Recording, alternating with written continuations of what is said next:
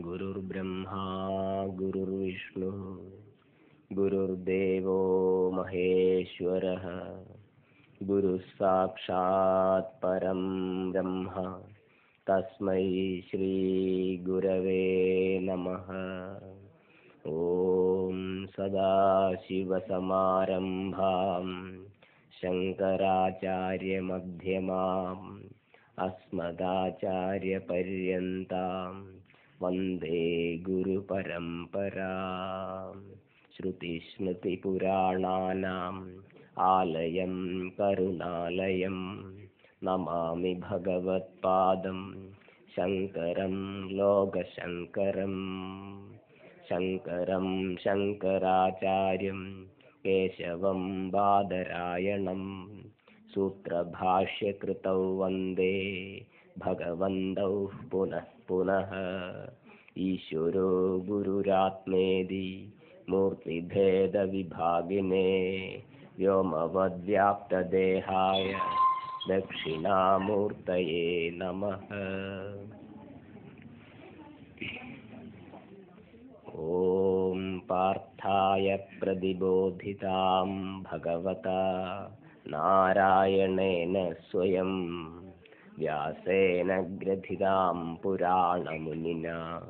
മധ്യേ മഹാഭാരതം. അദ്വൈതാമൃതവർഷിണീം ഭഗവതീം അഷ്ടാദശാധ്യായിനീം അംബ ത്വാമനുസന്ദധാമി ഭഗവത്ഗീതേ ഭവദ്വേഷിണീം. കഴിഞ്ഞ അഞ്ച് ദിവസങ്ങളായിട്ട് നാം ഭഗവത്ഗീതയെ അധികരിച്ചാണ് ചിന്തിച്ചുകൊണ്ടിരിക്കുന്നത്. ഇന്ന് അവസാനത്തെ ദിവസമായ ഇന്ന് ഭഗവത്ഗീതയുടെ സന്ദേശം ഭഗവത്ഗീതയുടെ സന്ദേശം എന്ന വിഷയത്തെ അധികരിച്ചാണ് നമുക്ക് ചിന്തിക്കാനുള്ളത്. നാം എല്ലാം ഗീതയെ വളരെ ദൂരെ നിന്ന് കഴിഞ്ഞ നാല് അഞ്ച് ദിവസങ്ങളായി നോക്കി നോക്കിക്കാണുകയുണ്ടായി തുടക്കത്തിൽ വന്നവർക്ക് അറിയാം. എന്താണ് ഗീത എന്ന് ചിന്തിച്ചപ്പോൾ നാം ഗീതയെ വ്യാഖ്യാനിച്ച ഭാഷ്യകാരന്റെ ഒരു പ്രധാന വാക്യത്തെ കുറിച്ച് മനനം ചെയ്യുകയുണ്ടായി.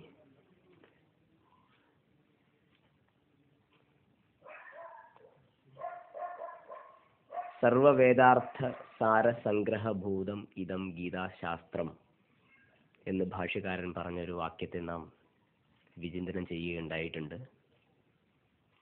അത് ഓർമ്മിച്ചുകൊണ്ട് നമ്മൾ മുന്നോട്ട് ചിന്തിച്ചപ്പോൾ ഭഗവത്ഗീത അയ്യായിരം വർഷങ്ങൾക്ക് മുമ്പ് മുമ്പ് മഹാഭാരത യുദ്ധമധ്യത്തിൽ വെച്ച്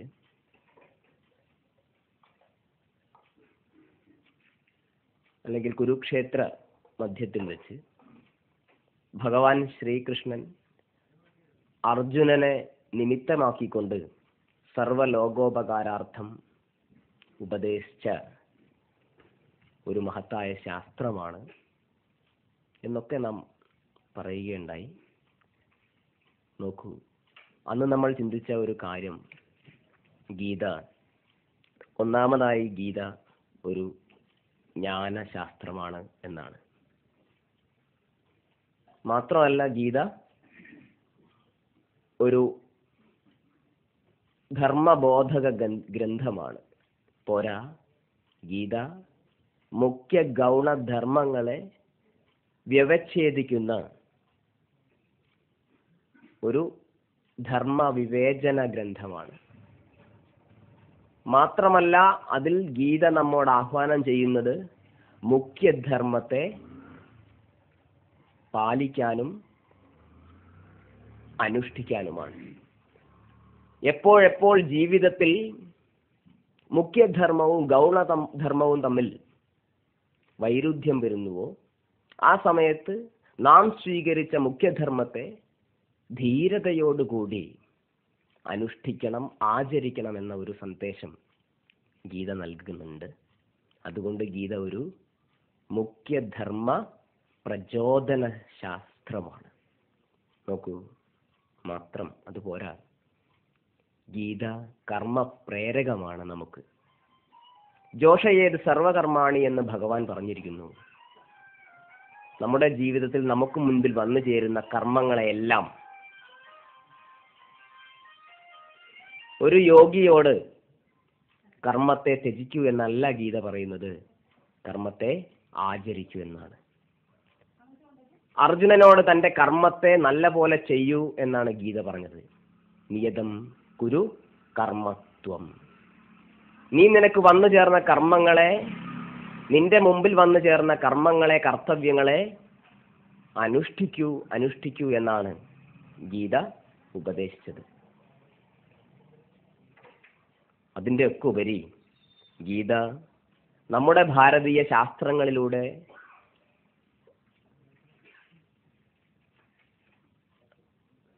വന്നി വന്നിരിക്കുന്ന പ്രചരിച്ച ജ്ഞാന ഭക്തി യോഗ ജീവിത രീതികളെ സമന്വയിക്കുന്ന സമന്വയിപ്പിച്ച ഒരു ഗ്രന്ഥവും കൂടിയാണ് ഗീത. ഗീത ഒരു യോഗ സമന്വയ ശാസ്ത്രമാണെന്ന് വേണമെങ്കിൽ പറയാം. ഭക്തിയെയും ജ്ഞാനത്തെയും ഗീത രണ്ടായി കണ്ടില്ല. കർമ്മയോഗത്തിന് അതിന് വേണ്ടുന്ന സ്ഥാനം ഗീത കൊടുത്തിട്ടുണ്ട്. കർമ്മയോഗത്തിലൂടെ ഒരു ആൾ ചിത്തശുദ്ധിയെ സമ്പാദിച്ചു സമ്പാദിച്ചുകൊണ്ട് ജ്ഞാനത്തിന്റെ ഉയർന്ന തലങ്ങളിലേക്ക് പ്രവേശിക്കുന്നതിനെ കുറിച്ച് ഗീത വളരെ നല്ല രീതിയിൽ നമുക്കൊരു കാഴ്ചപ്പാട് നൽകുന്നുണ്ട്. അതുകൊണ്ട് നമ്മൾക്ക് വന്നു ചേർന്ന കർമ്മത്തെ നോക്കൂ ഇന്നലെ നമ്മൾ ചിന്തിച്ചു. കർമ്മത്തെ ത്യജിക്കുകയല്ല. കർമ്മത്തെ സംഘം തെക്വ കരോത്തി യഹ എന്ന് പറയുന്ന ഭാഗത്ത് ഗീത പറയുന്നു. ആരാണോ സംഘം ത്യജിച്ചിട്ട് കർമ്മം ചെയ്യുന്നത് അവന് പാപമേൽക്കുന്നില്ല. മാത്രമല്ല അവന്റെ ചിത്തശുദ്ധി സംഭവിക്കുന്നു. കർമ്മസംഘമില്ലാതിരിക്കാൻ ഗീത നമ്മോട് ആഹ്വാനം ചെയ്യുന്നു. അപ്പൊ ഗീത ഈ രീതിയിൽ ഒരു യോഗ സമന്വയ ശാസ്ത്രമാണ്. അതിന്റെ ഒക്കെ ഉപരി നമുക്ക് ചിന്തിക്കാനുള്ളത് ഗീത ഒരു വേദാന്ത സാരഗ്രന്ഥമാണ്.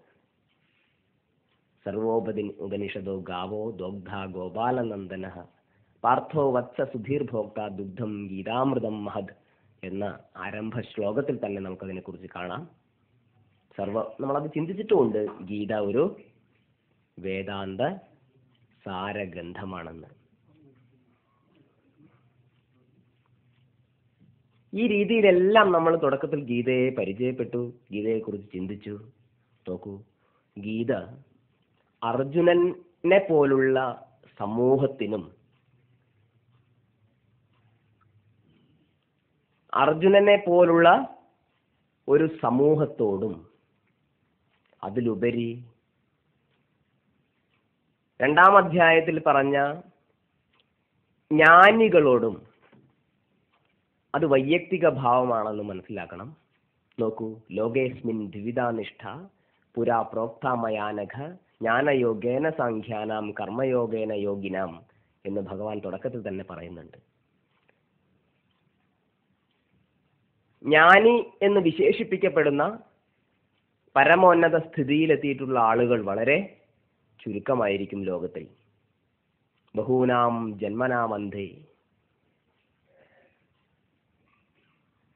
എന്ന് പറയുന്ന ഭാഗത്ത് പറയുന്നുണ്ട് വളരെ കാലങ്ങൾക്ക് ശേഷമാണ് അല്ലെങ്കിൽ വളരെ ജന്മങ്ങൾക്ക് ശേഷമാണ് ഹേ അർജുന ഒരാൾ ഒരു ജ്ഞാനിയായി തീരുന്നത്.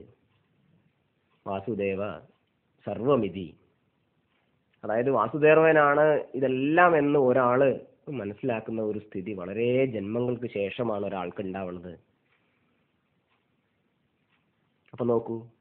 സാമാന്യ സമൂഹം എന്നും കർമ്മത്തെ അനുഷ്ഠിക്കാനും കർമ്മത്തിലൂടെ കർമ്മദ്വാര കർമ്മത്തിന്റെ ഉപരി എത്തേണ്ടവരാണ്. നോക്കൂ. നാം എല്ലാം അർജുനന്റെ സ്വഭാവമുള്ളവരാണ്. അതുകൊണ്ടാണ് അർജുനനെ നിമിത്തമാക്കിക്കൊണ്ട് ലോകത്തിന് ഉപദേശിച്ചത് ഭഗവാൻ ഗീതയെ. അർജുനൻ ഉപദേശിച്ച ഒരു ഗ്രന്ഥമാണെങ്കിൽ നമുക്ക് അത്ര താല്പര്യത്തോടു കൂടി ഗീതയെ സമീപിക്കാൻ സാധിക്കുമായിരുന്നില്ല. അന്നത്തെ ഒരു സിറ്റുവേഷൻ ഒന്നും പലപ്പോഴും ഇന്നില്ല. എന്നാൽ നമുക്ക് അതിൽ നിന്നൊക്കെ ഒരു ഉൾക്കാഴ്ച നേടിയെടുക്കേണ്ടതുണ്ട്. അർജുനനെ നിമിത്തമാക്കിക്കൊണ്ടാണെങ്കിൽ അർജുനന്റെ പോലുള്ള ചില മാനസിക വ്യാപാരങ്ങൾ നമുക്കൊക്കെ നമ്മുടെ ജീവിതങ്ങളിൽ വന്നു ചേരുന്നുണ്ട് ജീവിതത്തിലൊക്കെ. തത്തത് സമയത്ത് നാം ഒക്കെ ഗീതയെ അനുസന്ധാനം ചെയ്യുകയാണെങ്കിൽ നമ്മളുടെ ജീവിതത്തിൽ നമുക്ക് നോക്കൂ കാർപ്പണ്യദോഷം കർമ്മരഹിതത കർമ്മവിമൂഢത നമ്മളതൊക്കെ ചിന്തിച്ചു. അറിഞ്ഞതിന് വന്ന അസുഖം എന്തായിരുന്നു? കർമ്മ വിമൂഢത സ്വന്തം കർമ്മം എന്ത് സ്വന്തം ധർമ്മം എന്ത് അധർമ്മം എന്ത് അല്ലെങ്കിൽ എന്റെ കർത്തവ്യം എന്തെന്ന് തിരിച്ചറിയാൻ കഴിയാതെ അർജുനൻ തേർത്തട്ടിൽ ആയുധം വെച്ച് വിലപിക്കുന്ന ഒരു അർജുനനെ നാം കാണുന്നുണ്ട്. അങ്ങനത്തെ ഉള്ള അർജുനനോടാണ് ഭഗവാൻ പറയുന്നത് യുദ്ധം ചെയ്യൂ. നിന്റെ കർത്തവ്യം നീ അനുഷ്ഠിക്കൂ. നോക്കൂ ഇന്നലെ അത് വളരെ ഗഹനമായിട്ട് നമ്മൾ ചിന്തിച്ചു. നാം കർമ്മത്തിൽ നിന്നും ഒഴിയേണ്ടവരല്ല കർമ്മത്തെ അനുഷ്ഠിച്ച് മുന്നോട്ട് പോവേണ്ടതാണ് അങ്ങനെ ഗീത പതിനെട്ട് അധ്യായങ്ങളും മുന്നോട്ട് പോകുമ്പോൾ നമുക്കറിയാം ഒന്നാം അധ്യായത്തിൽ അർജുനനല്ല രണ്ടാം അധ്യായത്തിൽ. അത് കഴിഞ്ഞ് മൂന്നാം അധ്യായത്തെ കർമ്മത്തിന്റെ സ്പഷ്ടതയെക്കുറിച്ച് ഭഗവാൻ വ്യക്തമാക്കുമ്പോൾ അർജുനൻ അതിന്റെ ഉപരി എത്തുന്നുണ്ട്. ഓരോ ഭാഗവും ഭഗവാനിൽ നിന്ന് ഗ്രഹിക്കുമ്പോൾ അർജുനന് വ്യത്യാസം ഉണ്ടാവുന്നുണ്ട്. എങ്ങനെയുള്ള വ്യത്യാസം? യാതൊരു വ്യതിയാനത്തെയാണോ അർജുനനിൽ ഭഗവാൻ ഇച്ഛിച്ചത് ആഗ്രഹിച്ചത്?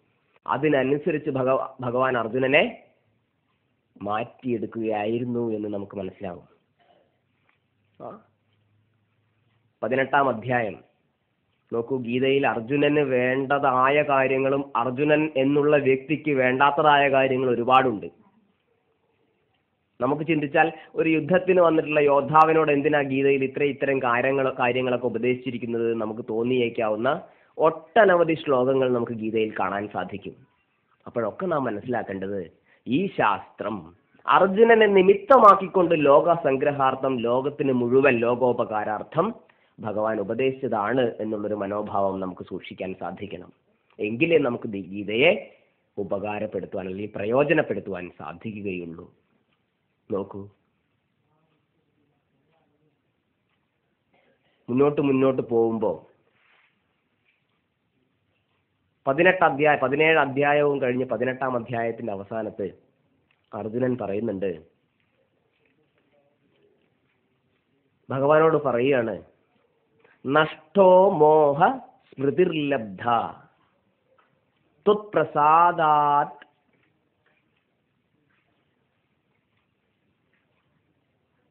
മയാച്യുത. നോക്കൂ നഷ്ടോ മോഹ സ്മൃതിർലബ്ധ ത്വത്പ്രസാദാത് മയാ അച്യുത.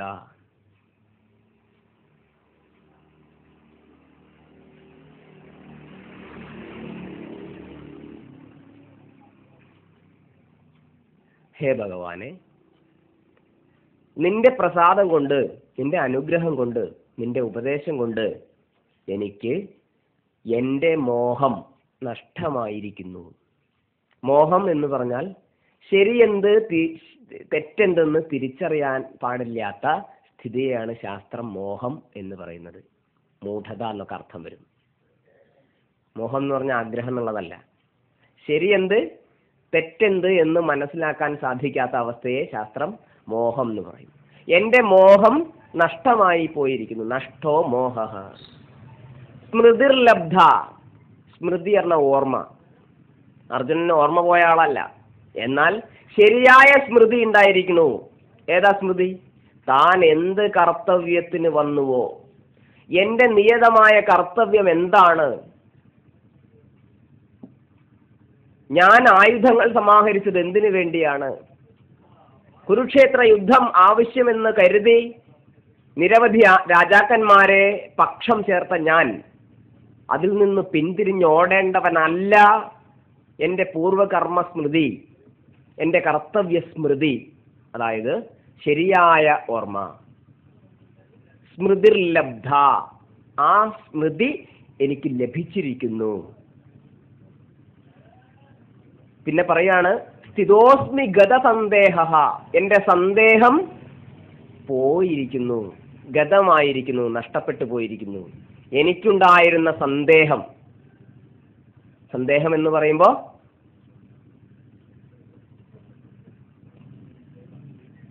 ശരിയായ ഒരു കാഴ്ചപ്പാടില്ലായിക എന്താണ് ചെയ്യേണ്ടത്? ഞാൻ അത് ചെയ്യണോ ഇത് ചെയ്യണോ? ഇങ്ങനെയുള്ള സന്ദേഹം പോയവനായിരിക്കുന്നു ഞാൻ. നിശ്ചയമായ ബുദ്ധിയില്ലായ്മ എനിക്ക് നഷ്ടപ്പെട്ടിരിക്കുന്നു. അതായത് എനിക്ക് ശരിയായ ഒരു മനോഭാവം വന്നിരിക്കുന്നു. ചെയ്യേണ്ടതിനെ കുറിച്ച് ശരിയായ ഒരു വീക്ഷണം വന്നിരിക്കുന്നു. അങ്ങനെയുള്ളവനായിട്ടാണ് ഞാനിപ്പോൾ നിൽക്കുന്നത്. സ്ഥിതോസ്നിഗത സന്ദേഹ. വീണ്ടും പറയുന്ന ഒരു കാര്യമുണ്ട്. കരിഷ്യേ വചനം തവ. ഇതാണ് പ്രധാനം. എന്റെ മോഹം പോയിരിക്കുന്നു എന്റെ ആഗ്രഹം അല്ലെങ്കിൽ മൂഢ പോയിരിക്കുന്നു. എനിക്ക് ഓർമ്മ വന്നിരിക്കുന്നു എന്റെ സന്ദേഹം പോയിരിക്കുന്നു എന്നുള്ളത് മാത്രമല്ല അർജുനൻ പറയുന്നത് കരിഷ്യേ വചനം തവ. ഹേ ഭഗവാനെ അങ്ങയുടെ വാക്കുകളെ ഞാനിതാ ചെയ്യാൻ പോവുകയാണ്. എന്താണ് അങ്ങയുടെ വാക്ക്? ഹേ അർജുന നീ മാറി നിൽക്കേണ്ടവനല്ല.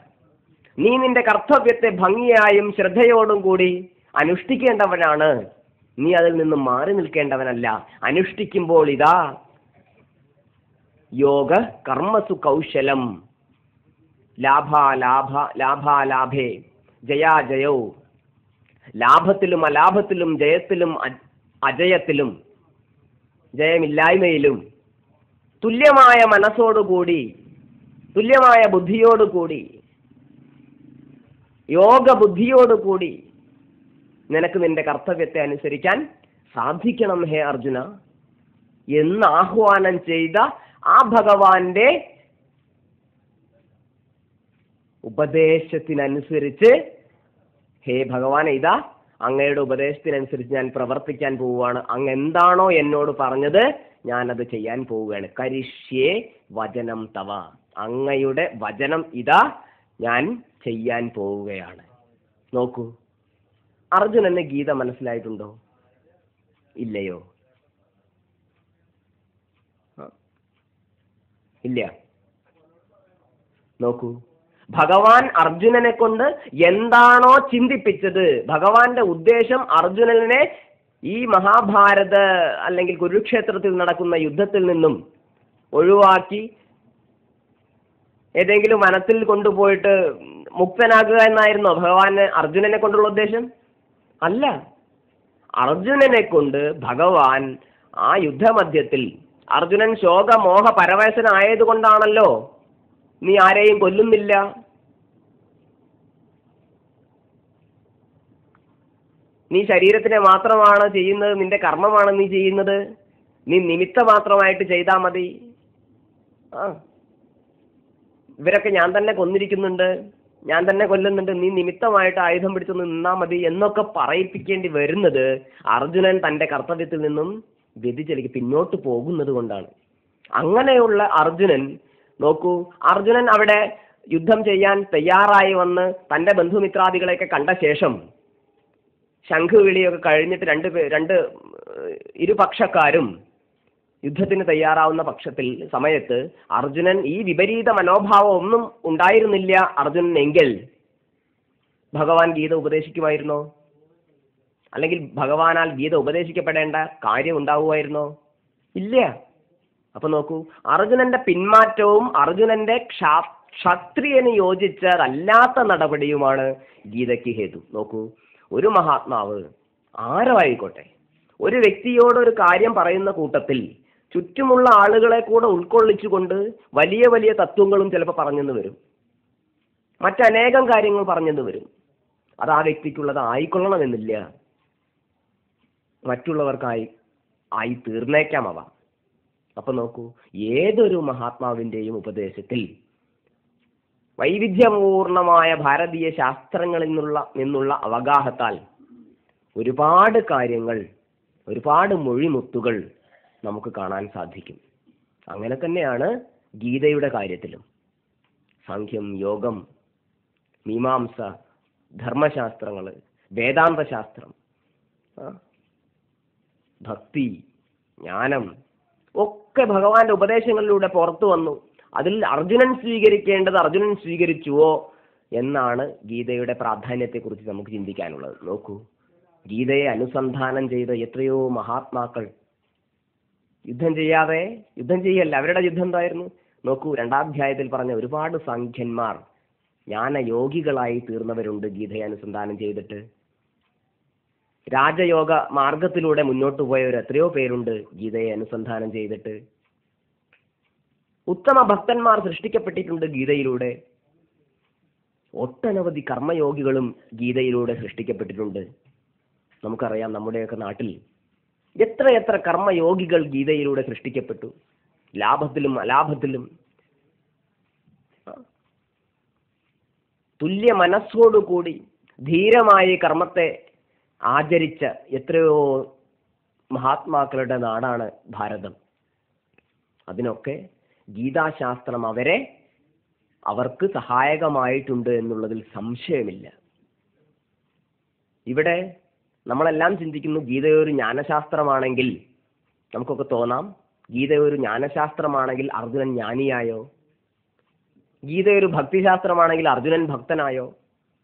ഗീത ഒരു യോഗശാസ്ത്രമാണെങ്കിൽ അർജുനൻ യോഗിയായോ? എന്നൊക്കെ ചിന്തിക്കുന്ന അല്പാൽപമായ ബുദ്ധി നമുക്കൊക്കെ വന്നു പോവാം അങ്ങനെയല്ല നാം ചിന്തിക്കേണ്ടത്. അർജുനന്റെ സ്വധർമ്മത്തിന് അർജുനൻ ആ സ്വധ സ്വധർമ്മ പരിത്യാഗം ചെയ്ത അർജുനൻ സ്വധർമ്മത്തെ വീണ്ടും സ്വീകരിച്ചോ? സ്വീകരിച്ചു എങ്കിൽ അർജുനനെ സംബന്ധിച്ച് ഗീത ഉപകാരപ്രദമായിട്ടുണ്ട്. നോക്കൂ. നാം അർജുനനാണോ അല്ല നമ്മുടെയൊക്കെ നിര നില അർജുനന്റെ ഉപരിയുള്ള നിലയാണോ അർജുനനേക്കാളും താഴ്ന്ന നിലയാണോ എന്നൊക്കെ പരിശോധിച്ചിട്ട് അതിനനുസരിച്ച് ഗീതയുടെ നന്മ നിറഞ്ഞ വശങ്ങളെ ഉപദേശങ്ങളെ സ്വീകരിക്കാൻ നാം തയ്യാറാകുമ്പോൾ നമുക്കും ഗീത ഉപകാരപ്പെടും. ഓരോരുത്തരും നമ്മുടെ നിലവാരത്തെ മനസ്സിലാക്കിക്കൊണ്ട് വേണം ഗീതയെ സമീപിക്കാൻ. സാമാന്യമായി പറഞ്ഞാൽ ലോകത്തിൽ എവരും കൂടുതൽ പേർ എന്നും കർമ്മ അധികാരികളായിരിക്കും. അങ്ങനെ കർമാധികാരമുള്ള മനുഷ്യനെ സംബന്ധിച്ച് തന്റെ കർത്തവ്യത്തിൽ നിന്നും വ്യതിചലിക്കാതെ ധീരമായിട്ട് മുന്നോട്ട് പോകാൻ വേണ്ടി ഗീത ഉപദേശം ചെയ്യുന്നു. നാം കർമാധികാരി കർമാധികാരികളാണെങ്കിൽ നാം നമ്മുടെ ജീവിതത്തിൽ കർമ്മത്തെ യഥാവിധി കർമ്മത്തെയും അകർമ്മത്തെയും വികർമ്മത്തെയും മനസ്സിലാക്കിക്കൊണ്ട് താൻ ചെയ്യേണ്ടുന്ന കർത്തവ്യത്തെ യഥാബലം യഥായോഗ്യം ധീരതയോടുകൂടി അനുഷ്ഠിക്കുകയാണ് നമുക്കൊക്കെ സമാചരണീയമായിട്ടുള്ളത് കർത്തവ്യമായിട്ടുള്ളത് നമുക്ക് നമ്മളാൽ ചെയ്യപ്പെടേണ്ടത്. ഇത് നല്ലവണ്ണം മനസ്സിലാക്കിക്കൊണ്ട് നാം ഗീതയിലെ ഓരോ ആശയങ്ങളെയും ഉൾക്കൊള്ളുക. ഇല്ലെങ്കിൽ ഒരു പക്ഷേ ഗീതയുടെ ഉയർന്ന തലങ്ങൾ നമുക്ക് ദഹിക്കാൻ പറ്റാത്തതായി തീർന്നേക്കാം. ഗീതയുടെ ചില ചെറിയ ചെറിയ ഉപദേശങ്ങൾ അല്ലെങ്കിൽ നമ്മളെക്കാൾ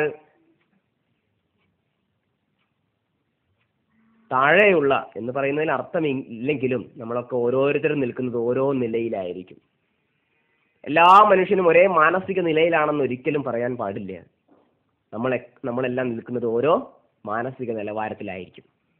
ചിലപ്പോൾ നമ്മളുടെ മാനസിക നിലവാരത്തിനേക്കാൾ താഴ്ന്ന രീതിയിലുള്ള ഉപദേശങ്ങൾ ഗീതയിലുണ്ടെങ്കിൽ അത് നമുക്കുള്ളതല്ലെന്ന് മനസ്സിലാക്കി മാറ്റിവെക്കാൻ നമുക്ക് സാധിക്കണം.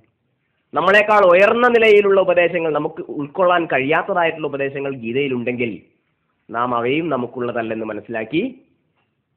യഥായോഗ്യമായ ഉപദേശങ്ങളെ സ്വീകരിക്കാനുള്ള ഒരു മനോഭാവം നാം സ്വീകരിക്കേണ്ടതുണ്ട്. അതുകൊണ്ട് ഗീത പഠിക്കുക ഗീതയെ അനുസന്ധാനം ചെയ്യുക എന്ന് വെച്ചാൽ നമ്മുടെ നിലവാരത്തെ നമ്മുടെ മാനസിക ശാരീരിക ബൗദ്ധിക നിലവാരത്തെ മനസ്സിലാക്കിക്കൊണ്ട് നാം ഗീതയെ അനുസന്ധാനം ചെയ്യാൻ ശ്രമിക്കണം. ആ നിലവാരത്തെ ഒന്നാമതായി തന്നെ പഠിക്കുന്നതാണ് ഗീതാ പഠനം എന്ന് വരും. ഗീതയുടെ അധ്യായങ്ങളിലൂടെ നാം പോകുമ്പോൾ നോക്കുക. ഓരോ സമയത്തും ഓരോ ശ്ലോകങ്ങളും ചിന്തിക്കുമ്പോൾ അത് തന്നെക്കുറിച്ചുള്ള ഒരു പഠനം കൂടെ ആയിരിക്കും. ഇത്രയും ദിവസം നാം ഒത്തുചേർന്നിട്ട് ചേർന്ന് ചേർന്നിട്ടുണ്ട്. ആറ് ദിവസവും വന്നവരെ തുടർച്ചയായി വന്നവരാരോ അവർക്ക് ഈ വിഷയത്തിൽ സംശയം ഉണ്ടാവാൻ തരയില്ല. കാരണം നമ്മുടെ വിഷയ രീതിയും അതുപോലെ ആയിരിക്കും. ഗീതാ പരിചയമായിരുന്നാലും ഗീതയുടെ പ്രസക്തിയെ കുറിച്ച് ചിന്തിച്ചാലും അതിന്റെ അപ്പുറത്ത് ജ്ഞാനയോഗത്തെ ചിന്തിച്ചാലും അതിനുശേഷം വന്ന ഭക്തിയോഗവും പിന്നെ അതിനെക്കുറിച്ചുള്ള കർമ്മവും ഇതെല്ലാം ശരിയാം വിധം മനസ്സിലാക്കി കഴിഞ്ഞാൽ നമുക്ക് ഗീതയെക്കുറിച്ചുള്ള ഒരു ഏകദേശ ധാരണ വരും. എങ്കിലും പൂർണമല്ല എന്ന് നിങ്ങളുടെ മുമ്പിൽ പറയുകയാണ്. ഗീത പതിനെട്ട് അധ്യായങ്ങളിൽ വൈപുല്യമായ വിപുലത വിപുല വിപുലമായ എഴുന്നൂറ് ശ്ലോകങ്ങളെ കൊണ്ട് നിബന്ധിക്കപ്പെട്ട ഒരു ശാസ്ത്രമാണ്. അതിന്റെ ഏതെങ്കിലും കുറച്ച് അല്പ അല്പമായ ചില മൊഴിമുത്തുകളെയാണ് നാം സ്വീകരിച്ച് ചിന്തിച്ചിട്ടുള്ളതെന്ന് നാം എല്ലാവരും മനസ്സിലാക്കണം. നോക്കൂ ഇനി പതിനെട്ടാം അധ്യായത്തിൽ ഭഗവാനെ തന്റെ ഉപദേശം സ്വീകരിച്ചിരിക്കുന്നു. ഞാൻ അതിനനുസരിച്ച് കർമ്മത്തെ ചെയ്യാൻ കർമ്മയോഗമായിട്ട് അനുഷ്ഠിക്കാൻ തയ്യാറായിരിക്കുന്നു എന്ന് അർജുനൻ നിശ്ചിതനായി നിശ്ചയവ്രതനായി തീർന്നു. അതിനുശേഷം ഗീത മുഴുവൻ നമുക്കറിയാം. ധൃതരാഷ്ട്രരോടായി സഞ്ജയൻ കൈമാറിയ സന്ദേശമാണ്. എങ്ങനെ? കുരുക്ഷേത്ര മധ്യത്തിൽ ഭഗവാൻ അർജുനൻ ഉപദേശിച്ചു എങ്കിൽ അത് ദിവ്യദൃഷ്ടിയിലൂടെ ഗ്രഹിച്ച മനസ്സിലാക്കിയ സഞ്ജയനാണ് ഗീതാശാസ്ത്രത്തെ ധൃതരാഷ്ട്രർക്ക് കൈമാറുന്നത്. നോക്കൂ നമ്മൾ കേൾക്കുന്ന നമ്മൾ കാണുന്ന ഗീതാശാസ്ത്രം സഞ്ജയന്റെ വാക്കുകളാണ്. അർജുന ഉവാച അർജുനൻ പറഞ്ഞിരിക്കുന്നു. ഭഗവാൻ ഉവാച ഭഗവാൻ പറഞ്ഞിരിക്കുന്നു. ഇത് രണ്ടും പറയുന്നത് ആരാണ്? സഞ്ജയനാണ്. ആരോട് പറയുന്നു? ധൃതരാഷ്ട്രരോട് പറയുന്നു. അപ്പോൾ നോക്കൂ ഗീതയെ മാറി നിന്ന് വീക്ഷിച്ച വ്യക്തി അർജുനനാണോ? ധൃതരാഷ്ട്രനാണോ? അല്ല ചുറ്റും കൂടിയിരിക്കുന്ന യോദ്ധുകാമാനും കാമാൻ കാമന്മാരൊക്കെയാണോ? അവരൊന്നും ഗീത ഉപദേശിച്ചത് കേട്ടിട്ട് പോലും ഉണ്ടാവില്ല. ഗീതോപദേശത്തിൽ ഗീതോപദേശത്തെ മനസ്സിലാക്കിയത് ഒന്ന് ഭഗവാനാണ് മറ്റൊന്ന് അർജുനനാണ്. മൂന്നാമത് സഞ്ജയനാണ്. നാലാമത് ധൃതരാഷ്ട്രരാണ്. ഈ നാല് പേരാണ് ഗീതയെക്കുറിച്ച് എന്തെങ്കിലും ഈ ഗീതാശാസ്ത്രത്തിൽ ഈ നാല് പേരെ കുറിച്ചാണ് പറയുന്നത്. ഈ ഗീത ഭഗവാൻ ഉപദേശിച്ചു. അർജുനനെ അർജുനന് വേണ്ടി അത് കേട്ടു. സഞ്ജയൻ മാത്രം. ആ സഞ്ജയൻ ഉപദേശങ്ങളെല്ലാം കഴിഞ്ഞ് യുദ്ധവും കഴിഞ്ഞ് ഭീഷ്മർ വീണപ്പോഴാണ് സംഭവിച്ച കാര്യങ്ങളെക്കുറിച്ചൊക്കെ വിശദമാക്കുന്നതെന്ന് നാം തുടക്കത്തിൽ പറഞ്ഞിട്ടുണ്ട്. ചിന്തിക്കപ്പെട്ട വിഷയമാണ്. ആണല്ലോ? അതെ. ആ സഞ്ജയൻ ധൃതരാഷ്ട്രരോടായിക്കൊണ്ട് ഒരു വാക്യത്തെ പറയുന്നുണ്ട്. അർജുനൻ ഭഗവാൻ നമ്മോട് മുഴുവൻ പറയുന്നത് തന്റെ കർത്തവ്യത്തെ ചെയ്യാനാണ്. മാം അനുസ്മര യുദ്ധ്യച്ച നോക്കൂ നമ്മുടെ ബൗദ്ധിക നിലവാരം നമ്മുടെ ബുദ്ധി നമ്മുടെ മനസ്സെല്ലാം പരമാത്മാവിൽ ശ്രദ്ധ കേന്ദ്രീകരിച്ചുകൊണ്ട് കർത്തവ്യ വിമൂഢാത്മ ശ്രദ്ധ കേന്ദ്രീകരിച്ചുകൊണ്ട് തങ്ങളുടെ തങ്ങളുടെ കർത്തവ്യത്തെ യഥായോഗ്യം ധീരമായി അനുഷ്ഠിക്കാനാണ് മാനവ സമൂഹത്തോട് ഭഗവാൻ ആഹ്വാനം ചെയ്തിരിക്കുന്നത്. മാം അനുസ്മര യുദ്ധച്ച. താത്വികമായ നിലവാരത്തിൽ നീ എന്നെ മനസ്സിലാക്കൂ. പ്രായോഗികമായ രീതിയിൽ നിന്റെ കർമ്മത്തെ അനുഷ്ഠിക്കൂ അതിലൂടെ നിന്റെ ചിത്തശുദ്ധി നിനക്ക് സംഭവിക്കുമ്പോൾ നീ താത്വികമായ നിലയിലേക്ക് ജീവിതം കൊണ്ട് ഉയരും. ഇത് മാനവ ലോകത്തിനുള്ള ഉപദേശമാണ്. മാം അനുസ്മര യുദ്ധച്ച ഇവിടെ മാം എന്നെ അനുസ്മരിക്കൂ യുദ്ധം ചെയ്യുകയും ചെയ്യൂ. യുദ്ധം കർത്തവ്യം. നമ്മുടെ നമ്മുടെ കർത്തവ്യങ്ങളെ നാം യഥാവിധി യഥായോഗ്യം യഥാശക്തി ഉപ ശക്തി ചെയ്യുകയും സാക്ഷാത് പരമേശ്വരനെ കുറിച്ചുള്ള പൂർണ ബോധം നമ്മൾ നിലനിർത്തുകയും ചെയ്യുക. ഇതാണ് സാമാന്യ സമൂഹത്തോട് ഭഗവാൻ പറഞ്ഞിട്ടുള്ളത്. ഇനി അതിനനുസരിച്ചാണല്ലോ അർജുനൻ തയ്യാറായതും. ഇനി നോക്കൂ ഒരു പ്രധാന കാര്യം. ഗീതോപദേശം എല്ലാം കഴിഞ്ഞിട്ട് സഞ്ജയൻ. ഇതിനെയൊക്കെ നോക്കിക്കഴിഞ്ഞ് നോക്കിക്കണ്ട സഞ്ജയൻ ധൃതരാഷ്ട്രോട് പറയാണ് എത്ര യോഗേശ്വര കൃഷ്ണോ എത്ര പാർത്ഥോ ധനുർധര തത്ര ശ്രീവിജയോ ഭൂതിർ ധ്രുവാ നീതിർമതിർമമ എത്ര യോഗേശ്വര കൃഷ്ണോ എത്ര പാർത്ഥോ ധനുർധര തത്ര ശ്രീ വിജയ ധ്രുവാ നീതിർ മതിർമമ. നോക്കൂ. എത്ര യോഗേശ്വര കൃഷ്ണ എവിടെയാണോ യോഗേശ്വരനായ കൃഷ്ണനുള്ളത്? എത്ര പാർത്ഥോ ധനുർധര എവിടെയാണോ ധനുർധരനായ പാർത്ഥനുള്ളത്? വെറും പ്രാർത്ഥന പ്രാർത്ഥനല്ല എത്ര യോഗേശ്വര കൃഷ്ണ കൃഷ്ണന്റെ ഒരുപാട് ഭാവങ്ങളെ നാം പഠിക്കുന്നുണ്ട് കുട്ടിക്കാലം മുതൽ. അമ്പാടി കണ്ണനായിക്കോട്ടെ ഗോകുലവാസി ആയിക്കോട്ടെ മധുരാപുരിയിലുള്ള കൃഷ്ണനായിക്കോട്ടെ രാധാസമേതനായിക്കോട്ടെ. എത്ര എത്ര എത്ര ലീലകളാണ് ഭഗവാൻ ആടിയത്. നോക്കൂ അതെല്ലാം നമുക്ക് പാഠം തന്നെയാണ്. ഒന്നും നമുക്ക് തള്ളേണ്ടതായിട്ടില്ല. കൃഷ്ണനെ മാത്രം സ്മരിച്ചാൽ മതി. കൃഷ്ണൻ എന്ന വ്യക്തിയെക്കുറിച്ച് പഠിച്ചാൽ മതി. അതിനനുസരിച്ച് നാം ജീവിതത്തെ ചിട്ടപ്പെടുത്തിയാൽ മതി. നമുക്ക് മുന്നോട്ടുള്ള പന്ഥ നമ്മുടെ വഴി ശ്രേഷ്ഠമായി തീർന്നേ പറ്റൂ. നോക്കൂ. നമ്മൾ എത്ര ദിവസം അവിടെ വന്നിട്ടുണ്ടോ? അത്രയും ദിവസം നമ്മൾ ചിലപ്പോൾ പറഞ്ഞിട്ടുണ്ടാവും. ഭഗവാൻ കരം സ്പർശിച്ചത് ഒന്നും വെറുതെ ആയിട്ടില്ല. ആ? കുട്ടിക്കാലത്ത് വെണ്ണ കട്ടതാണെങ്കിൽ അത് നന്നായിട്ട് കട്ടില്ലേ ഭഗവാൻ ആ? ഓടിക്കളിക്കുകയാണെങ്കിൽ നന്നായിട്ട് ഓടിക്കളിക്കാൻ.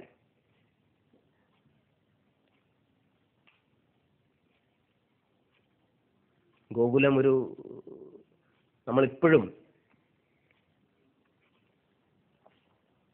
മറ്റ് വൃന്ദാവനൊക്കെ പോയി കണ്ടാൽ ചില സ്ഥലങ്ങളിലൊക്കെ നമ്മൾ വൃന്ദ ആ ഭാഗമൊക്കെ പോയി കാണ വൃന്ദാവൻ തുടങ്ങിയിട്ടുള്ളവയൊക്കെ ഇവരൊക്കെ സ്ഥലമൊക്കെ പോയി കാണുമ്പോൾ നമുക്ക് മനസ്സിലാവും കണ്ണന്റെ സ്മരണ.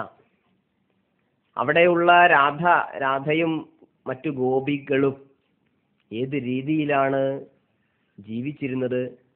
ഏത് രീതിയിലാണ് ഭഗവത് സ്മരണയോടുകൂടി അവരുടെ ഭക്തിസാന്ദ്രമായ അന്തരീക്ഷം കഴിച്ചു കൂട്ടിയത് എന്നൊക്കെ നമുക്ക് മനസ്സിലാവും ആ ഭാഗമൊക്കെ പോയി സന്ദർശിക്കുമ്പോഴും. മാത്രമല്ല ഭഗവാനെ കുറിച്ചുള്ള വ്യക്തമായ രൂപം ഉണ്ടാവും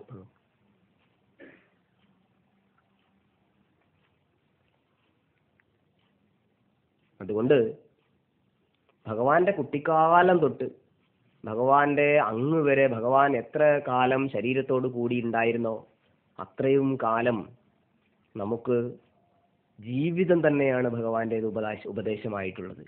നോക്കൂ ഇവിടെ എങ്ങനെയുള്ള ഭഗവാൻ ഉണ്ടാവണമെന്നാണ് സഞ്ജയൻ പറഞ്ഞതെന്നോ? ശ്രദ്ധിക്കൂ യോഗേശ്വരനായ കൃഷ്ണനാണ്. പ്രത്യേകമായ യോഗഭാവത്തിൽ ഗീത ഉപദേശിക്കുമ്പോൾ ഈ ഗീതോപദേശമൊക്കെ കഴിഞ്ഞിട്ട് യുദ്ധമൊക്കെ കഴിഞ്ഞ് പിന്നീട് ഒരു തവണ അർജുനൻ ചോദിക്കുന്നുണ്ട് ഭഗവാനെ അങ്ങ് പണ്ട് ഉപദേശിച്ച ആ കുരുക്ഷേത്ര മധ്യത്തിൽ വെച്ച് ഉപദേശിച്ച ആ ഗീത ഒന്നുകൂടെ എനിക്കൊന്ന് പറഞ്ഞു തരുമോ? ഞാനതൊക്കെ മറന്നിരിക്കുന്നു. അതൊന്നുകൂടെ ഒന്ന് പറഞ്ഞു തരുമോ? എനിക്കൊന്ന് നമുക്ക് ചില കാര്യങ്ങൾ നമ്മളൊക്കെ ഇടയ്ക്കിടയ്ക്ക് ചില ഉപദേശങ്ങളൊക്കെ ഒന്ന് കാസറ്റ് ഇട്ട് വീണ്ടും വീണ്ടും റിപ്പീറ്റ് ചെയ്ത് കേൾക്കുമ്പോൾ നമുക്കൊരു ഉഷാറുണ്ടാവില്ലോ? ഭഗവാനോട് അർജുൻ പറയാണ് പറയുന്നു അതൊന്നുകൂടെ ഒന്ന് ഉപദേശിച്ചു തരുമോ?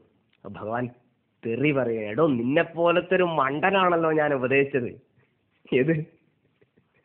നിന്നെ പോലത്തെ ഒരു മണ്ടൻ വിഡ്ഢിക്കാണല്ലോ ഞാൻ അന്ന് ഉപദേശിച്ചത്. ഇനി അതൊന്നും പറയാൻ പറ്റില്ല. ഞാൻ അന്നൊരു പ്രത്യേക യോഗ സ്ഥിതിയിലായിരുന്നു. പ്രത്യേക ഒരു മൂഡിലായിരുന്നു എന്ന് വേണമെങ്കിൽ പറയാം. ഇന്ന് എനിക്കതൊന്നും പറയാനുള്ള ഒരു പ്രത്യേക മൂഡില്ല. അതുകൊണ്ട് അതൊന്നും ഉപദേശിക്കാനൊന്നും പറ്റില്ല എന്ന് ഭഗവാൻ പറഞ്ഞെങ്കിലും അർജുനനോട് ആ കൃപ അർജുനിലേക്ക് വീണ്ടും ചൊരിയ ചൊരിയുകയാണ്. വളരെ ഉയർന്ന നിലവാരത്തിലുള്ള അല്ലെങ്കിൽ ജ്ഞാനപ്രദമായ ഉത്തരഗീത എന്ന ശാസ്ത്രം ഭഗവാൻ ആ സമയത്ത് അർജുനന് വേണ്ടി ഉപദേശിക്കുന്നുണ്ട്. അത് വേറെ കഥ. നോക്കൂ ഇതിന്ന് നമുക്ക് മനസ്സിലാവാനുള്ളത് ഭഗവാൻ ആ സമയത്ത് ഗീതോപദേശം ചെയ്യുമ്പോൾ ഒരു യോഗി തന്നെയായിരുന്നു യോഗ നിരുദ്ധാവസ്ഥയിലായിരുന്നു എന്നുള്ളതാണ്. എങ്ങനെയെന്നാൽ തന്റെ ശരീരബോധത്തിൽ നിന്നും ഉപരിയുള്ള ശരിയായ നോക്കൂ ഗീതയിൽ എല്ലായിടത്തും അഹം അഹം എന്ന് പറയുന്നിടത്തൊക്കെ പരമാത്മ സ്വരൂപമാണ് ഞാൻ എന്നുള്ള അവബോധത്തെ നമുക്ക് തരികയാണ് ഭഗവാൻ.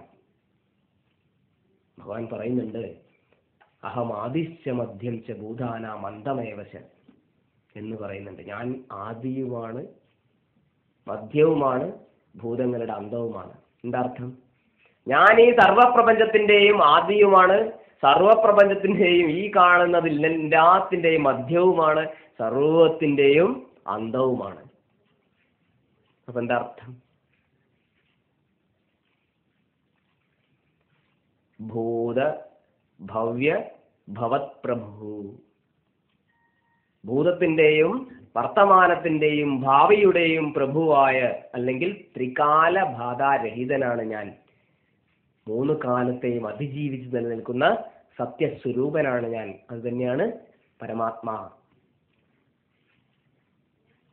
അങ്ങനെയുള്ള ജ്ഞാനത്തോടു കൂടിയുള്ള ജ്ഞാനരൂപിയായ ഭഗവാൻ യോഗേശ്വരനായ ശ്രീകൃഷ്ണൻ എവിടെയുണ്ടോ? നോക്കൂ നമ്മുടെ ഒക്കെ ജീവിതത്തിൽ ആർക്കാണോ ജ്ഞാനിയായ ഒരു ഗുരു ഉള്ളത്? ഗുരു മാ ഗുരു ഉണ്ടായിട്ട് കാര്യമില്ല. ഗുരു നമ്മോട് കർത്തവ്യനിഷ്ഠയെക്കുറിച്ചും കർമ്മത്തെക്കുറിച്ചും സ്വധർമ്മത്തെക്കുറിച്ചും ഉപദേശിക്കുമ്പോൾ അർജുനനെ പോലെ വില്ലാളി വീരനായ ധനുസേന്തിയ ഒരു വ്യക്തിയായി നാം തീരുന്നു എങ്കിൽ ഇവിടെ ഈ യോഗേശ്വരനായ കൃഷ്ണന്റെയും ധനുർധരനായ പാർത്ഥന്റെയും സമന്വയമാ ഭാവം നമുക്ക് ദർശിക്കാൻ സാധിക്കും. നമ്മുടെ ഒക്കെ ജീവിതത്തിൽ നാം പഠിക്കുക. നാം ധനുർധരന്മാരായ അല്ലെങ്കിൽ ധനുർധരനായ ധനുർധര ഭാവത്തോടു കൂടിയ പാർത്ഥന്മാരായി തീരേണ്ടിയിരിക്കുന്നു. മറുവശത്ത് നമുക്ക് ജ്ഞാനത്തെ അറിവിനെ കർമ്മ ശുദ്ധിയെ കർമ്മയോഗത്തെ കർത്തവ്യ വിമൂഢതയിൽ നിന്ന് നമ്മെ ഇല്ലായ്മ ചെയ്യുന്ന ഉപദേശങ്ങളെയൊക്കെ നൽകിക്കൊണ്ട് കരുത്തിന്റെ സന്ദേശ സന്ദേശത്തെ പ്രോജ്വലിപ്പിച്ചുകൊണ്ട് നമുക്ക് നല്ല ഒരു ഗുരു ഉണ്ടാവുക. ആർക്കാണോ ജീവിതത്തിൽ ഒരു ഗുരു ഉള്ളത്? അവൻ കൃതകൃത്യനായി തീർന്നിരിക്കുന്നു. സത്യം തന്നെയാണ് ഈ വിശേഷം. പിന്നെ ജീവിതം ഒരു രസം തന്നെയാണ് ആനന്ദം തന്നെയാണ്. തന്റെ കർമ്മത്തെ യഥാവിധി ചെയ്യാൻ അവന് ഗുരു കരുത്താണ് ഗുരു തുണയാണ്. ഗുരു ജ്ഞാനമാണ്. ഗുരു സാക്ഷാത് പരം ബ്രഹ്മ എന്ന് മനസ്സിലാക്കുക. നോക്കൂ. എവിടെയാണോ ജ്ഞാനവും എവിടെയാണോ കർത്തവ്യവും ജ്ഞാന കർമ്മ യോഗം. യോഗം എന്ന് പറയുമ്പോൾ കർമ്മവും ജ്ഞാനവും ഒന്നാവുക എന്നുള്ളതല്ല കർമ്മത്തിന് ഉപദേഷ്ടാവായിട്ട് കർത്തവ്യത്തിന് ഉപദേഷ്ടാവായിട്ട് ഒരു ജ്ഞാനി ഉണ്ടാവുന്നത് ഉണ്ടാവുന്നത്. അതാണ് പറഞ്ഞത്. എവിടെയാണോ യോഗേശ്വരനായ സാക്ഷാത് പരമാത്മാവായ ഭഗവാൻ യോഗേശ്വരനായ കൃഷ്ണനുള്ളത് എവിടെയാണോ അതിനോട് ചേർന്ന ധനുർധരനായ പാർത്ഥനുള്ളത് തത്ര അവിടെ.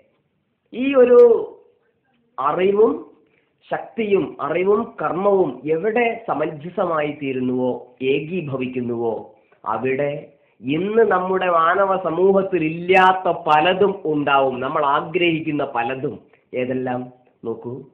തത്ര ശ്രീ. ശ്രീ. ഐശ്വര്യം. ആ അവിടെ ശ്രീ ഉണ്ടാവുന്നു. പിന്നെയോ വിജയ. വിജയമുണ്ടാവുന്നു. എവിടെയാണോ യോഗേശ്വരനായ കൃഷ്ണനും ധനുർധരനായ പാർത്ഥനും ഉള്ളത് അവിടെ ശ്രീ ഐശ്വര്യം വിജയം ഐശ്വര്യവും വിജയവും ഉണ്ടാവുന്നു. പോരാ. ഭൂതി ഉണ്ടാവുന്നു. ഭൂതി എന്താ? ഐശ്വര്യത്തിന്റെ മഹത്തായ ഭാവത്തെയാണ് നാം ഭൂതി എന്ന് പറയുന്നത്. ഭൂതി. ഐശ്വര്യം ആന്തരികമാണെങ്കിൽ ഭൂതി ബാഹ്യമാണ്. ഐശ്വര്യത്തിന്റെ സമഗ്രമായ പ്രകടഭാവമാണ് ഭൂതി. ഐശ്വര്യം ഒരു വ്യക്തിയുടെ ആന്തരിക ഘടനയാണെങ്കിൽ ഭൂതി ഒരു വ്യക്തിയുടെ ബാഹ്യ ഘടനയായിട്ട് നമുക്ക് കാണാൻ സാധിക്കും.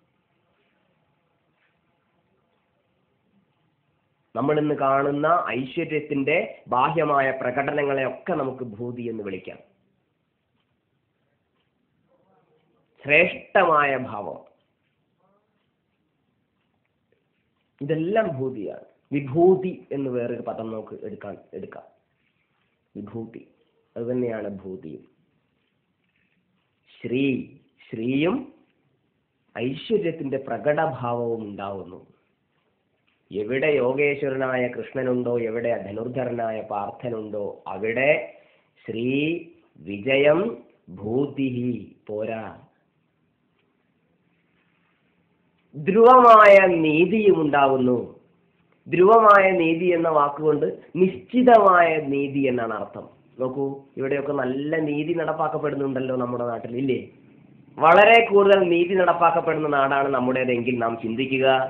എന്താണ് അതിന്റെ കാരണം എന്ന് ധനുർധരന്മാരായ നമ്മളെ പോലെ പോലുള്ള പാർത്ഥന്മാർ അണി നിറഞ്ഞിരിക്കുകയാണ് ഭഗവാനെ പോലുള്ള സർവേശ്വരന്മാരുടെ ഉപദേശങ്ങളെ സ്വീകരിച്ചുകൊണ്ട് കർത്തവ്യനിഷ്ഠരായ ധനുർധരന്മാർ ഏത് നാട്ടിൽ പ്രോജ്വലമായ ഭാവത്തോടുകൂടി മുന്നോട്ട് കുതിക്കുന്നുവോ? അവിടെ നീതി നടപ്പാക്കിയേ പറ്റൂ നടപ്പാക്കപ്പെട്ടേ പറ്റൂ. എവിടെ നീതിയില്ലയോ അവിടെ നൈഷ്കർമ്മ്യത അതായത് കർമ്മത്തിൽ നിന്ന് വ്യഭിരിച വ്യഭിചരിക്കപ്പെട്ട ഭാവം അകർമ്മണ്യതയുണ്ട്.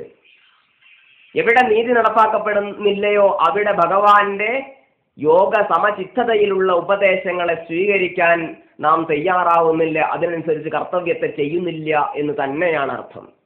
എവിടെയാണോ സ്ത്രീയില്ലാത്തത് അവിടെയും ഇത് തന്നെ. എവിടെയാണോ ഭൂതിയില്ലാത്തത് അവിടെയും ഇത് തന്നെ നാം മനസ്സിലാക്കുക. നോക്കൂ നമുക്ക് വിജയം ആവശ്യമില്ലേ? നമ്മുടെ ജീവിതത്തിൽ നമുക്ക് വിജയം ആവശ്യമില്ല എന്നാണോ നാം തീരുമാനിക്കുന്നത് എങ്കിൽ ധനുർധരനായ പ്രാർത്ഥന നാം കൈവെടിഞ്ഞേക്കുക. നമുക്ക് ഭൂതിയും ഐശ്വര്യവും നാം ആഗ്രഹം നമുക്ക് ആവശ്യമില്ല എന്നാണോ നാം തീരുമാനിക്കുന്നത് എങ്കിൽ ഭഗവാനെ നാം ദൂരെ കളഞ്ഞേക്കുക. ഗീതയെ നാം അനുസന്ധാനം ചെയ്യേണ്ടതില്ല. ഉയർന്ന തലത്തിലുള്ള മുക്തിപദം തൽക്കാലം നാം അവിടെ നിൽക്കട്ടെ. എന്നുവെച്ച് സന്യസനാദേവ സിദ്ധിം സമധികച്ചതി എന്ന് ഭഗവാൻ കൂടെ കൂടെ ഓർമ്മിപ്പിക്കുകയാണ്. നോക്കൂ കർമ്മം ചെയ്യാതിരുന്നു എന്ന് കരുതിയിട്ട് നീ സിദ്ധിയെ പ്രാപിക്കില്ല ഹേ അർജുന. അതുകൊണ്ട് നാം വിജയത്തെ ആഗ്രഹിക്കുന്നുണ്ടോ? നാം ഭൂതിയെ ആഗ്രഹിക്കുന്നുണ്ടോ? നാം വ്യക്തമായ രീതിയിലുള്ള സാമൂഹിക നീതിയെ ആഗ്രഹിക്കുന്നുണ്ടോ?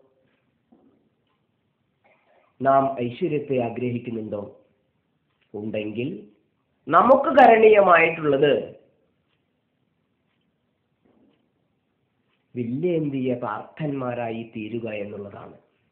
നാം ഏത് നിമിഷം വില്ലേതിയ പാർത്ഥന്മാരായി തീരാൻ തയ്യാറാകുന്നുവോ ആ നിമിഷം നമുക്ക് ഭഗവത് സ്വരൂപങ്ങൾ നമ്മുടെ മുമ്പിൽ ഉപദേശാമൃതങ്ങളുമായി ഉപദേശ അമൃതങ്ങളുമായി നമ്മുടെ പുറകെ നമ്മുടെ മുമ്പിൽ കരസ്പർശത്തോടുകൂടി നമ്മുടെ ഭാവിയുടെ പ്രോജ്വലന വക്താക്കളായി മുൻനിരയിൽ മുൻപേ നടക്കുന്നുണ്ടാവും എന്നുള്ളതിൽ യാതൊരു സംശയവുമില്ല. ഇനി നാം നമ്മുടെ സാമൂഹിക നിലവാരത്തെ ഒന്ന് മനസ്സിലാക്കുക. ഈ പറഞ്ഞിരിക്കുന്നത് എത്ര യോഗേശ്വര കൃഷ്ണ എത്ര പാർത്ഥോ ധനുർധര തത്ര ശ്രീ വിജയോ ഭൂതിർ ധ്രുവാ നീതിർ മതിർ മമ എന്നാണ് പറഞ്ഞത്. എന്നാണ് എന്റെ അഭിപ്രായം. ആരുടെ അഭിപ്രായം? ഗീതയെ വിദൂരദൃഷ്ടിയിൽ നോക്കിക്കണ്ട അർജുനനെയും കൃഷ്ണനെയും മഹാഭാരതത്തെയും യുദ്ധത്തെയും സർവ രാജാക്കന്മാരുടെയും ഓരോ രാജാക്കന്മാരുടെയും മനസ്സിലുള്ളത് പോലും ഗ്രഹിക്കാൻ കഴിവുള്ള സഞ്ജയൻ. ഗീതയെ വിലയിരുത്തിയതാണ് ഈ ഒരു ശ്ലോകം. എവിടെയാണോ യോഗേശ്വരനായ കൃഷ്ണനും എവിടെയാണോ ധനുർധരനായ പാർത്ഥനും കൂടിയോ കൂടിച്ചേരുന്നത് അവിടെ ഈ പറയുന്ന കാര്യങ്ങളൊക്കെ ഉണ്ടാവുന്നു. എന്നാണ് എന്റെ വ്യക്തമായ അഭിപ്രായം. നോക്കൂ ഇതാണ് ഗീതയുടെ സന്ദേശം. അല്ലാണ്ട് ഭഗവാൻ പറയുകയാണ് ഇതാണ് ഗീതയുടെ സന്ദേശം എന്ന് പറയാൻ ഭഗവാൻ കഴിയില്ല. കാരണം എന്താ? ഭഗവാൻ ഒരുപാട് ഉപദേശങ്ങൾ നൽകി. സഞ്ജയൻ അതിൽ നിന്നും വേർതിരിച്ച് അവസാനം പറഞ്ഞ വാക്ക് നമുക്ക് ഗീതയുടെ ഒരു വലിയ സന്ദേശമായിട്ട് സ്വീകരിക്കാൻ സാധിക്കും. ഇനി നോക്കുക നമ്മുടെ സാമൂഹിക നിലയെക്കുറിച്ചും നമ്മുടെ വൈയക്തിക ഭാവത്തെക്കുറിച്ചും ഒരു വലിയ സംസ്കാരത്തിന്റെ ഉപഭോക്താക്കളായി തീരേണ്ടുന്ന അല്ലെങ്കിൽ വലിയ സംസ്കാരത്തിന്റെ പ്രത്യക്ഷ ചിഹ്നങ്ങളായിരുന്ന ആ ഒരു മഹനീയ സംസ്കൃതിയുടെ പിൻതലമുറക്കാരായ നാം ഇന്ന് നമ്മുടെ ധർമ്മത്തെക്കുറിച്ച് അറിയുന്നതിലും ധർമ്മത്തിനനുസരിച്ച് ജീവിതം നയിക്കുന്നതിലും എത്രമാത്രം വ്യാപൃതരാണ് നമ്മുടെ കുടുംബങ്ങളുടെ സ്ഥിതി എന്താണ് ഭാരതം എന്ന ദേശത്തിന്റെ സ്ഥിതി എന്താണ് ഈ ധർമ്മത്തെ പരിപോഷിപ്പിക്കാനും ധർമ്മത്തെ മുറുകെ പിടിക്കാനും ധർമ്മത്തിനനുസരിച്ച് ജീവിക്കാനും തയ്യാറാകുന്ന ഓരോ ഹൈന്ദവ സഹോദരന്റെയും സ്ഥിതി എന്താണ്? എവിടെ എവിടെ ശക്തിയില്ലയോ അവിടെ നാം പിന്തൾ തള്ളപ്പെടും. എവിടെ എവിടെ ശ്രീയില്ലയോ അവിടെയും നാം പിന്തള്ളപ്പെടും. എവിടെ എവിടെ അറിവില്ലയോ അവിടെയും നാം പിന്തള്ളപ്പെടും. നോക്കൂ ശ്രീയും ബലവും അറിവും ഒന്നുമില്ലാത്തിടത്ത് നീതി ഉണ്ടാവുമെന്ന് തോന്നുന്നുണ്ടോ? ഇല്ല. നാം നമ്മുടെ വോട്ടു രാഷ്ട്രീയക്കാരെയും അതിലൂടെ ഗവൺമെന്റായി മാറുന്ന പ്രസ്ഥാനങ്ങളെയും നമ്മുടെ നീതി വ്യവസ്ഥയെയും ഒക്കെ നമ്മൾ പലപ്പോഴും അപലപിക്കുകയും കുറ്റം പറയുകയൊക്കെ ചെയ്യുക മാത്രമാണ് പതിവ്. എന്താണ് ഇതിന്റെയൊക്കെ കാരണം എന്ന് നമുക്ക് ചിന്തി നമ്മൾ ചിന്തിച്ചാൽ നമുക്ക് ഉത്തരം കിട്ടും. നാം കർത്തവ്യത്തെ ചെയ്യേണ്ടത് ചെയ്യേണ്ടുന്ന കർത്തവ്യനിഷ്ഠയോടൊത്ത പാർത്ഥന്മാരായി തീരുന്നില്ല എന്നുള്ളതാണ് ഇതിന്റെ ഒക്കെ പ്രശ്നങ്ങളുടെ കാതൽ എന്ന് നമുക്ക് മനസ്സിലാവും. നോക്കൂ കൗടുംബിക ജീവിത ജീവിതത്തിലായാലും സാമൂഹിക സാംസ്കാരിക മേഖലകളിലായാലും ഗ്രാമീണ വ്യവസ്ഥയിലായിരുന്നാലും ഇനി വേണ്ട നഗരങ്ങളായിക്കോട്ടെ പട്ടണങ്ങളായിക്കോട്ടെ വലിയ വലിയ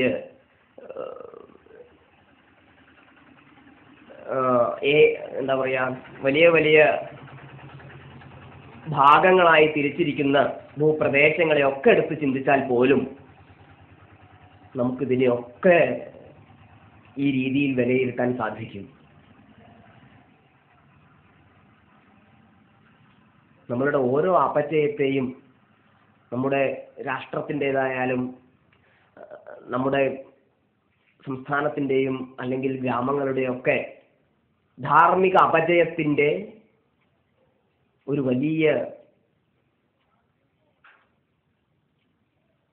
ഒരു കുതിപ്പ് അപജയത്തിലേക്കുള്ള ഒരു കിതപ്പ് എന്ന് പറയുന്നതായിരിക്കും നല്ലത്. ആ ഒരു കിതപ്പ് ധർമ്മത്തെ ആശ്രയിച്ചിരിക്കുന്നു.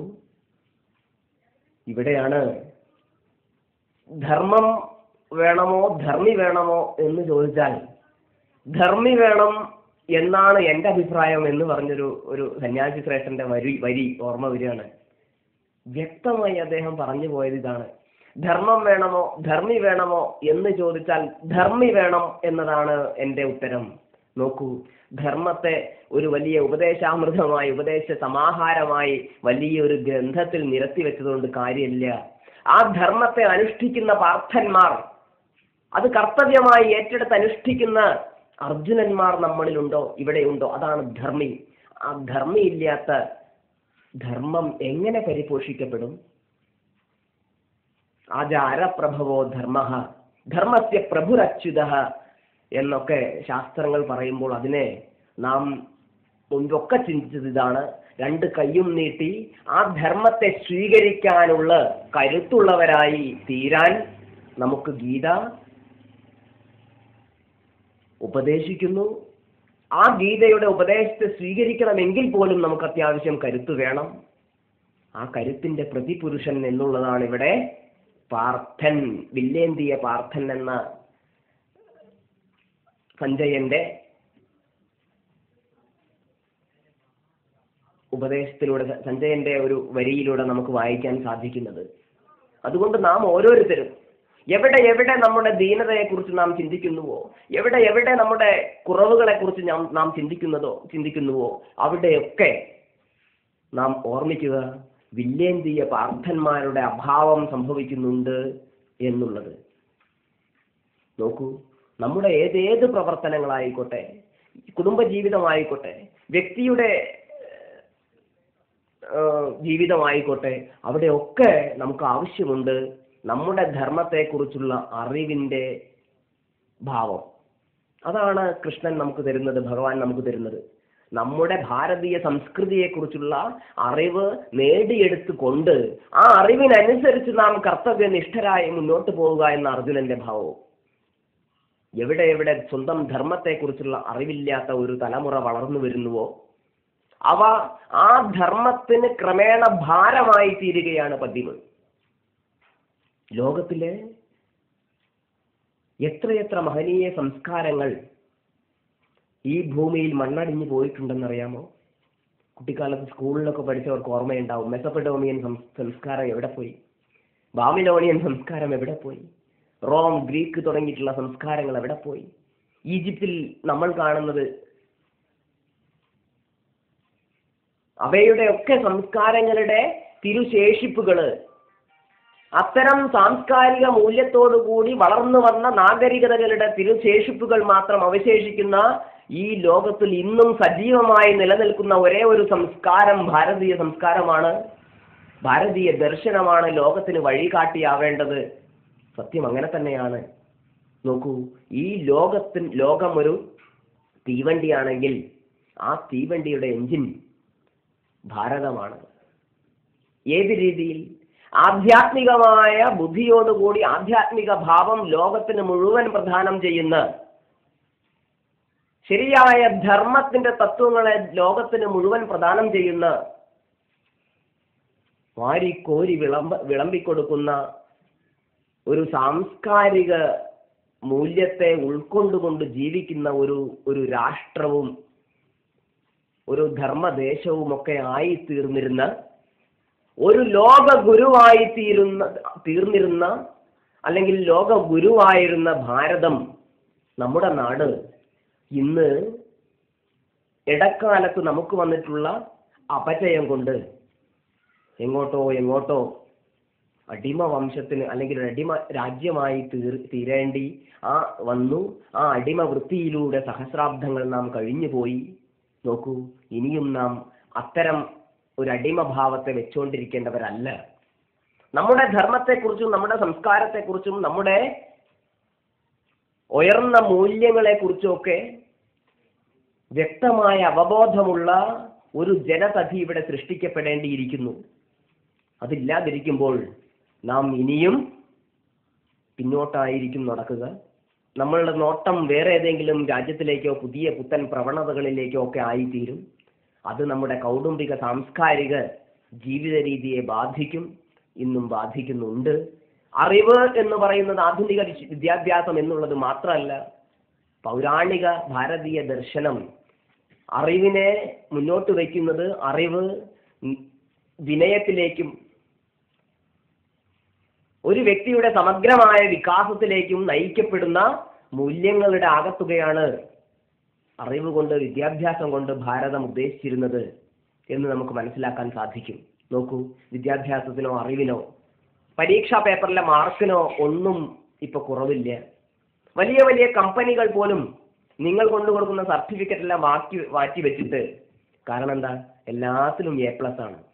എ പ്ലസ് കിട്ടാത്ത കുട്ടികളൊന്നും ഇല്ല നിങ്ങൾ കൊണ്ടുപോകുന്ന നമ്മുടെ മക്കൾ നാളെ കൊണ്ടു കൊടുക്കുന്ന സർട്ടിഫിക്കറ്റ് എല്ലാം മാറ്റി വെച്ചിട്ട് അവനോട് ചിലപ്പോൾ മൂല്യങ്ങളെ കുറിച്ചുള്ള ചോദ്യങ്ങളായിരിക്കും നാളെ ചോദിക്കുക. നീ ഈ കമ്പനിയിൽ ജോലി ചെയ്യുന്നത് എന്തിനു വേണ്ടി? നീ ഇവിടെ ജീവിക്കുന്നതിന് വേണ്ടി? എന്ന് തുടങ്ങിയ ചോദ്യങ്ങൾക്ക് ഉത്തരം നൽകാൻ പകച്ചു പോകുന്ന ഒരു ജനപദ്ധിയെ സൃഷ്ടിക്കുന്ന വിദ്യാഭ്യാസമാണ് ഇവിടെ കാണുന്നത്. മാത്രമല്ല നോക്കൂ. വലിയ വലിയ വിദ്യാഭ്യാസമുള്ളവരല്ലേ? രാജ്യത്തിന് പോലും ദ്രോഹമായി തീർന്ന് പ്രവർത്തിക്കുന്നവര്. നമ്മുടെ രാഷ്ട്രത്തിന്റെ പ്രോജ്വല ഭാവിയുടെ വക്താക്കളും അതിനുവേണ്ടി പ്രവർത്തിക്കേണ്ടതും ആയിട്ടുള്ള യുവതലമുറ ഏത് ദിശയിലേക്കാണ് പോയിക്കൊണ്ടിരിക്കുന്നത്? അറിവിന്റെ കുറവാണോ അവർക്കുള്ളത്? വിദ്യാഭ്യാസത്തിന്റെ കുറവാണോ അവർക്കുള്ളത്?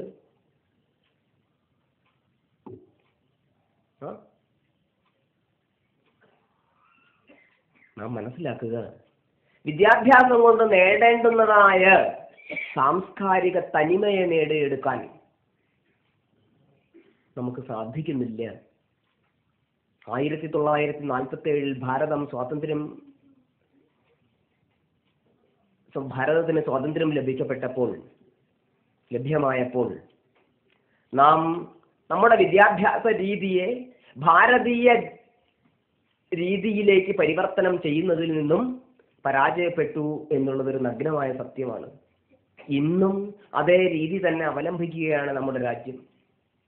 അതുകൊണ്ട് തന്നെ നമ്മുടെ മക്കൾ ദേശസ്നേഹത്തിന്റെ ദേശീയ മനോഭാവത്തിന്റെ ധാർമ്മികതയുടെ ജീവിത മൂല്യത്തിന്റെ നമ്മുടെ പൗരാണിക സമ്പത്തിന്റെ ഉയർന്ന ഒരു വിശേഷ ഭാവത്തിന്റെ ഒന്നും വക്താക്കളായി മാറുന്നില്ല. മറിച്ച് ചൂഷണത്തിന്റെ അല്ലെങ്കിൽ സാമൂഹിക ദ്രോഹത്തിന്റെ വൈയക്തിക അഹങ്കാരത്തിന്റെ ഒക്കെ മൂർത്തിമത് ഭാവങ്ങളായി മാറുന്ന കുറേ ആളുകളെ വിദ്യാഭ്യാസത്തിലൂടെ പുനഃ സൃഷ്ടിക്കപ്പെടുന്നു. ആളുകളെ സൃഷ്ടിക്കുന്നു.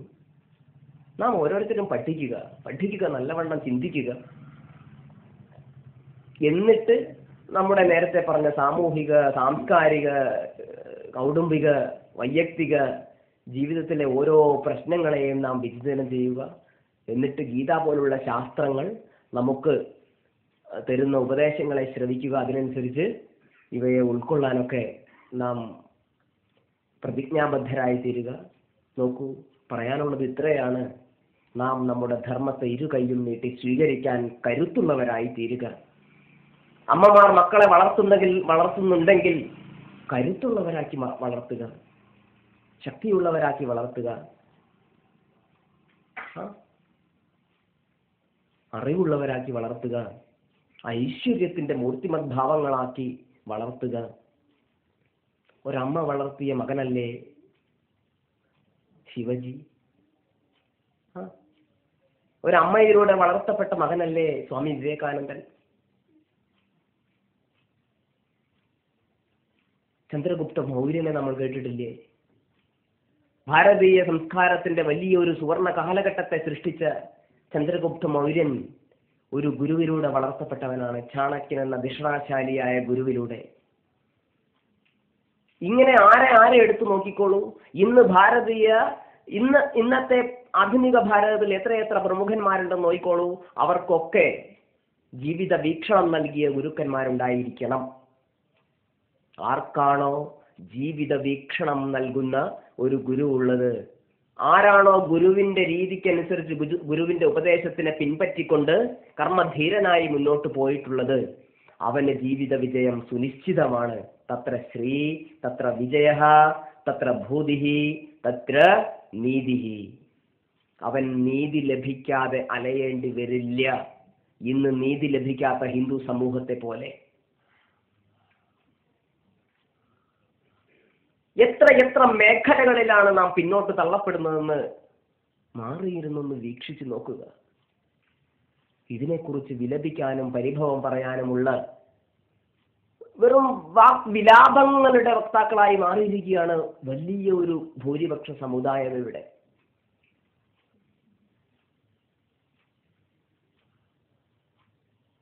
കൂടുതൽ അതിനെക്കുറിച്ചൊന്നും വിവരിക്കുന്നില്ല. നമ്മളെല്ലാം ചിന്തിക്കുന്നവരും അറിയുന്നവരുമാണ്. എവിടെ എവിടെ നീതി ലഭിക്കുന്നില്ലയോ അവിടെ അവിടെ ധനുർധരന്മാരായ പാർത്ഥന്മാരില്ല എന്നുള്ളതാണ്. പറഞ്ഞുകൊണ്ടുവന്നത് ധനുസിനെ പോലുള്ള ആയുധങ്ങൾ എടുക്കണം എന്നുള്ളതല്ല നമ്മുടെ നിയമം. തന്റെ തന്റെ കർമ്മത്തിൽ ശ്രദ്ധയുള്ളവരും ധീരതയുള്ളവരും ചെയ്യേണ്ടുന്ന പ്രവൃത്തി ചെയ്യേണ്ടപ്പോൾ ചെയ്യേണ്ട പോലെ ചെയ്യുന്നവരായി മാറുക എന്നുള്ളതാണ് അർജുനന്റെ ഉദാഹരണത്തിലൂടെ ഉപമയിലൂടെ ധനഞ്ജയൻ വരച്ചു കാട്ടിയിട്ടുള്ളത് ഉള്ളത്. അതിനെ നാം പരമാവധി സ്വീകരിക്കുക. നാം ഓരോരുത്തരും അത്തരം പാർത്ഥന്മാരായി തീരുക. എന്നിട്ട് ഭാവിയുടെ വരദാനങ്ങളായി തീരാൻ നമുക്ക് ഗീത നമ്മെ സഹായിക്കട്ടെ. അങ്ങനെയുള്ള ഒരു ഗീതാ സന്ദേശത്തിലൂടെ നാം വലിയൊരു ഒരു പുതിയ ഒരു പുത്തൻ സമൂഹത്തെ സൃഷ്ടിക്കുകയാണെങ്കിൽ അത് സ്വാഭാവികമായിട്ട് സൃഷ്ടിക്കപ്പെടുകയും ആണെങ്കിൽ അവിടെ നാം വിലപിക്കേണ്ടി വരില്ല. നാം ദുഃഖിക്കേണ്ടി വരില്ല. അർജുനനുണ്ടായ ശോകമോഹ പരാവശ്യങ്ങളൊന്നും നമുക്കുണ്ടാവില്ല. നാം ശ്രേഷ്ഠരായി തീരും മാത്രവുമല്ല ആത്യന്തികമായ മുക്തിയെ അമൃതത്വത്തെ പ്രാപിക്കാൻ ഉതകുന്ന ചിത്തശുദ്ധി നമ്മുടെ ധർമ്മത്തിലൂടെ നാം നോക്കൂ. സ്വധർമ്മേ നിധരം ശ്രേയ പരധർമ്മോ ഭയാവഹ എന്ന് ഭഗവാൻ നമ്മോട് ഉപദേശിച്ചിട്ടുണ്ട്. സ്വന്തം ധർമ്മത്തിൽ നിധനം നിധനം ശ്രേയസ് ശ്രേയസ് ഉണ്ടാവുന്നു. ഹേ അർജുന നിനക്ക് നിന്റെ ധർമ്മം നീ അനുഷ്ഠിക്കുമ്പോൾ നിനക്ക് ശ്രേയസ് ഉണ്ടായേ പറ്റൂ. നോക്കൂ മറ്റൊരാളുടെ ധർമ്മം മറ്റൊരാളുടെ ജീവിത രീതി നീ നേടിയെടുക്കാൻ ശ്രമിക്കുകയാണെങ്കിൽ നീ ദുഃഖിക്കപ്പെടും നീ ദുഃഖിതനാക്കപ്പെടും. അത് ഭയാവഹമാണ്. അതുകൊണ്ട് നമ്മുടെ ധർമ്മത്തെ എന്താണോ തന്റെ കർത്തവ്യം എന്താണോ തന്റെ ധർമ്മം അതിനെ മുറുകെ പിടിച്ചുകൊണ്ട് മുന്നോട്ട് പോകാൻ നമ്മെ ഗീത അനുഗ്രഹിക്കട്ടെ. അതിന് നമുക്ക് ഗീതാ മാതാവ് നമ്മെ സഹായിക്കട്ടെ. അതിന് പരമാത്മാ ഭഗവാൻ നമ്മുടെ കൂടെ ഉപദേശ സാരവുമായി എപ്പോഴും കൂടെ ഉണ്ടാവട്ടെ എന്ന് മാത്രം പ്രാർത്ഥിച്ചുകൊണ്ട് നമ്മുടെ ഈ ഒരു പരിപാടി പരിപാടിയിലുള്ള ഈ ഒരു ഗീതാ സന്ദേശം എന്ന വിഷയം തത്കാലം ഉപസംഹരിക്കുകയാണ്. ഇനി അല്പസമയം എന്തെങ്കിലും സമയമുണ്ടോ? ഉണ്ട്. പതിനഞ്ച് മിനിറ്റോളം ഉണ്ട്. എന്തെങ്കിലും സംശയം ഉണ്ടെങ്കിൽ ആവാം. ഇന്നത്തോടുകൂടി നമ്മുടെ പദ്ധതി ഇവിടുത്തെ ഈ പരിപാടി അവസാനിക്കുകയാണ്. അന്ന് എന്തെങ്കിലും സംശയം ഉണ്ടെങ്കിൽ നമുക്ക് ചർച്ച ചെയ്യാം. ഒരു പതിനഞ്ച് മിനിറ്റ് നമുക്കുണ്ട്.